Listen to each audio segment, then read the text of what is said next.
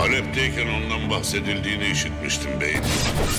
Suyun onu boğamadığına, ateşin yakamadığına inanırlar. Sözüne itimat eden baba ölümle pençeleşiyor. Bir dişi kurt gibi diş bileyecek. Turgay.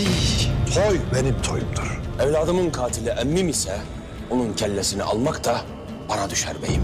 Evvela mesele çözülecek. Sonra da kelleler düşecek.